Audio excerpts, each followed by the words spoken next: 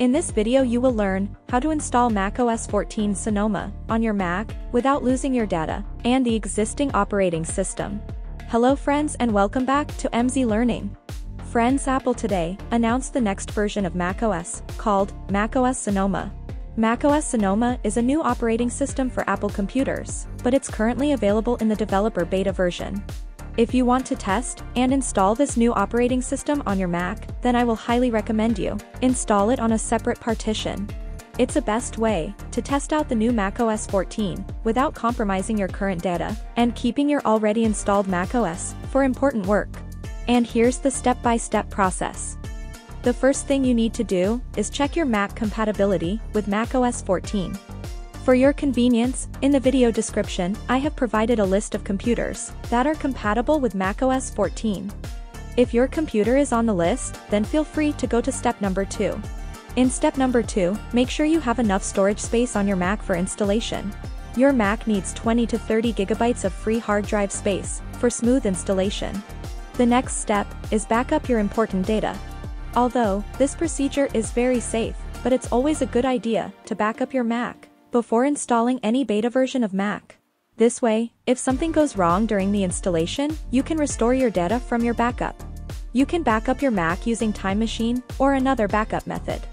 After you have done all these things, you have to create a new APFS volume on your Mac.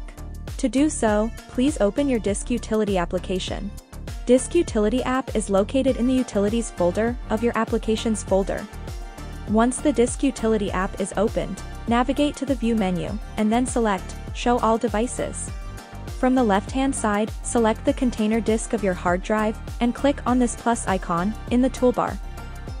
Give the new volume a name, and then, click Add button to create the new volume. That's all. A new APFS volume will be added to your hard drive. Now close the Disk Utility app and go to the next step. For the next step, we require the macOS 14 Developer Beta installer. You can download macOS 14 with or without a developer account. We have already created a step-by-step -step video on this topic, the link is in the video description. After downloading, the macOS 14 installer should open automatically. However, if it does not open, then go to your application folder and click on macOS 14 installer. Now click on the Continue button. Agree to the macOS 14 terms and conditions. Click on Show All Disks. Select the APFS volume you created earlier and click the Continue button.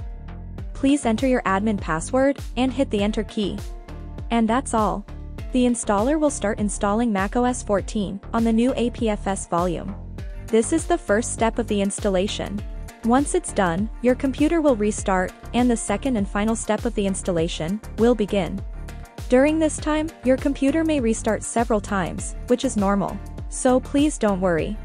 The entire process is automatic and requires no action on your side. This process can take 30 to 40 minutes, it depends on your hardware configuration. So be patient. When the installation is complete, you can use the new macOS 14 without affecting your old operating system. So friends, this is how you can install macOS 14 Developer Beta on your Mac. As soon as macOS 14 is installed, I will make a video of its new features, and tips and tricks.